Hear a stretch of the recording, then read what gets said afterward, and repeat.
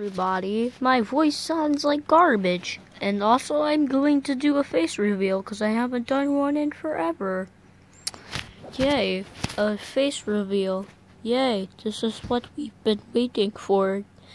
It's like, JJ, where's your face reveal? You've just been uploading trash Roblox vids. Well, I will show you my voice and my face because I haven't shown my voice and face in forever. Prepare to cringe. Prepare to uh, call me ugly. Prepare those ugly comments. I actually don't know if this will have comments, but okay. Yes, prepare.